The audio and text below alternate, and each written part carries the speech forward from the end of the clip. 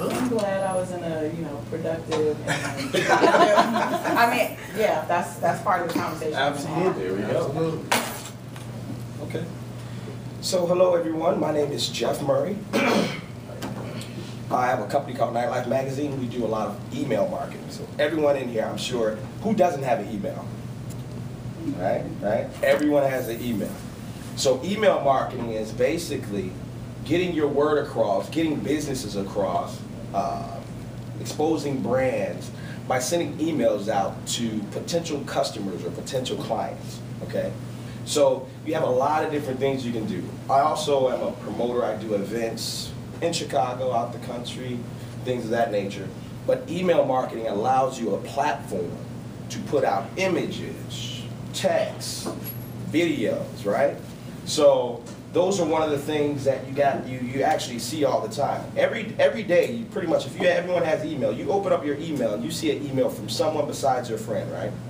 You see something if it's from Best Buy or you know talking about that video game you just purchased, or or something on Facebook. I'm sure everyone's seeing different ways. So email marketing is that platform to contact individuals and potentially expose them to their brand, their company, or things to get involved in.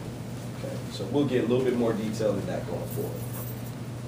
Good morning, my name is Marcie Hill, and I am addicted to blogging and social media, as you can see, like the main Twitter, just came in tweeting.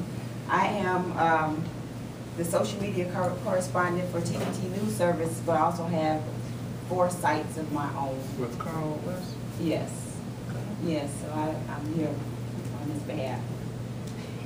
So I, and I have four sites of my own. One is my business site, one is for the community. I'm a writer, so I also love writing, and I have a site about writing, but it's not, I promise you, it's not boring.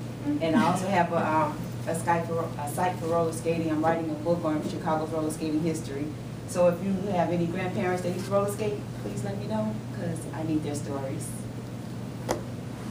Awesome. Let's give him a round of applause.